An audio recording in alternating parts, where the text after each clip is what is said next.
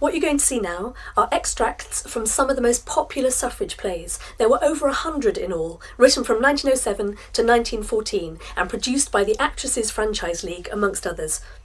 They weren't just about the vote, they were about issues that concerned suffragists unequal pay, working conditions, sexual violence against women and girls, and women's visibility in public space. There's a lot to chew on and a lot to like. Enjoy.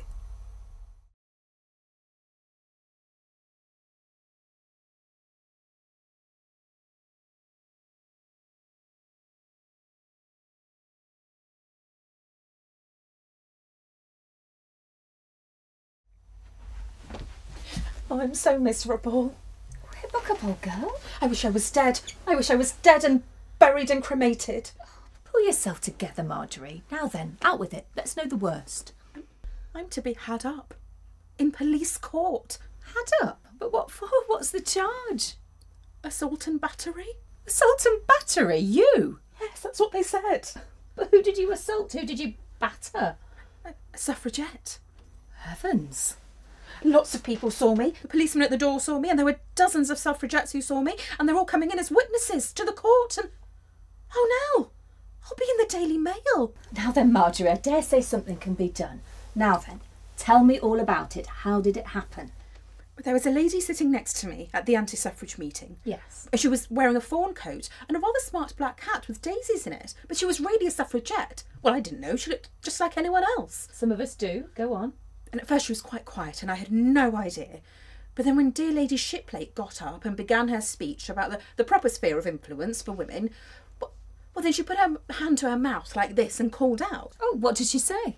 She said, Madam, why are you not at home? in a perfect roar. And that was when you. No, not then.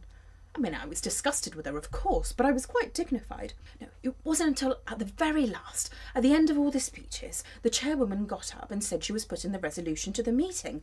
And then there was the most awful row. All the suffragettes got up and stood on their seats and shouted. And she, the one next to me, was the worst of all. She had hidden her flag underneath her coat with votes for women on it and she got it out and she was waving it. And well I got all excited you know what with all the noise and, and the organist beginning to play God Save the King you know to, to stop the questions. And so I told her just to sit down. Well she took no notice of me. And she carried on waving and, and, and making more noise and then I got more excited still and then I well I, I hit her hat over her eyes and I thumped her twice You did? and she said she was charging me with assaulting her and that I was part of the militant section of the anti-suffragettes and, and that she didn't approve of their tactics and, and that it would do us good to be brought up into court and be, to be taken down a peg or two. And oh, it was dreadful. Now then, Marjorie, do you know her name? Who was she? Oh, that's the worst of it. Why, what do you mean? She's a very important person. Very. Who? Her name is Lady Susan Pengarvan. Lady Susan. Yes. And you hit her? A lady of title? I didn't know. I, I just. Hello, Susie, that you? Susie? Yes, I've been hearing all about it. Yes, I heard about that too. What? Oh, put a piece of beefsteak on, that'll take down the swelling. Now, shut up and listen to me. You've got to withdraw this charge. No, I haven't gone quite mad.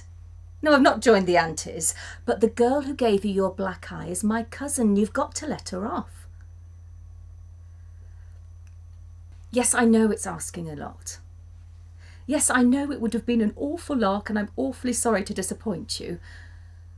Yes, I know, of course, she's an idiot, but what do you expect from an auntie? What's that? Good old girl. Yes. Tomorrow at one. All right. Goodbye.